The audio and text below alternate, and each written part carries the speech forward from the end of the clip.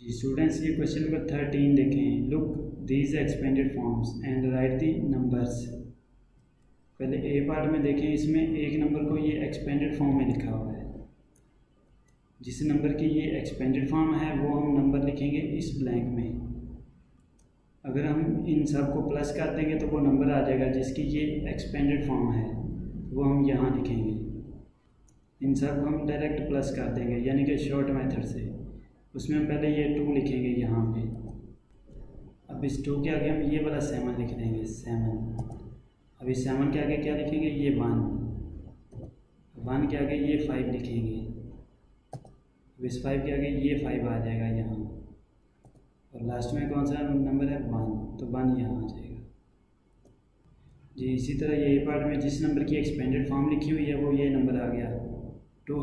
Hundred seventy one thousand five hundred fifty one इस part में अगर हम इन सबको वर्टिकली फॉर्म में लिखकर प्लस करेंगे तो फिर भी यही आंसर आएगा। Two hundred seventy one thousand five hundred fifty one इसी तरह ये बी पार्ट में भी हम इन सबको प्लस कर देंगे। तो वो नंबर आ जाएगा जिसकी ये एक्सपेंडेड फॉर्म है।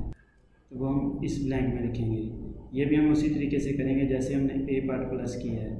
इसमें भी हम पहले एट लिखेंगे यहाँ। और एट के आगे ये थ्री लिख देंगे। थ्री के आगे ये ज़ीरो आ जाएगा एक। और ज़ीरो के आगे ये फोर लिखेंगे हम। फोर के आगे ये टू आ जाएगा।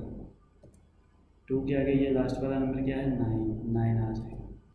जी, ये बी पार्ट में जिसकी ये एक्सपेंडेड फॉर्म है, वो ये नंबर आ गया। Eight hundred thirty thousand four hundred twenty nine अब इसी तरीके से हम ये सी पार्ट करेंगे। इसमें भी हम इन सबको प्लस कर देंगे। इनको भी हम डायरेक्ट प्लस करेंगे। तो पहले हम लिखेंगे ये वाला नाइन नाइन के बाद ये ज़ीरो आएगा।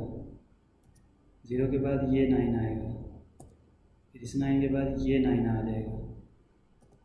फिर ये वाला नाइन आएगा। फिर ये लास्ट वाला नाइन आ जाएगा। जी सी पार्ट में जिस नंबर की ये एक्सपेंडेड फॉर्म लिखी है, वो ये नंबर आ गया। Nine hundred nine thousand nine hundred ninety nine अब इसी तरीके से हम ये डी पार्ट में इन सबको प्लस कर देंगे। तो वो नंबर आ जाएगा जिसकी ये एक्सपेंडेड फॉर्म है। तो इनमें भी पहले हम ये सेवन लिखेंगे यहाँ पे। पहले सेवन आएगा सेवन के बाद ये फोर लिख देंगे हम। और फोर के बाद ये थ्री आ जाएगा। थ्री के बाद ये ज़ीरो और ज़ीरो के बाद ये फाइव फाइव के लास्ट में क्या है? ये सिक्स सिक्स आ जाएगा। इसी तरह ये नंबर आ गया seven hundred forty three thousand fifty six इसी तरीके से ये हम लास्ट पार्ट में भी इनको प्लस करेंगे। तो इनमें भी पहले हम लिखेंगे ये वाला वन इस ब्लैंक में वन वन के आगे हम ये एट लिख देंगे। एट के आगे ये टू आ जाएगा। टू के आगे ये वन लिखेंगे। वन के आगे ये एक ज़ीरो आ जाएगा। ज़ीरो के आगे लास्ट वाला ये थ्री आ जाएगा।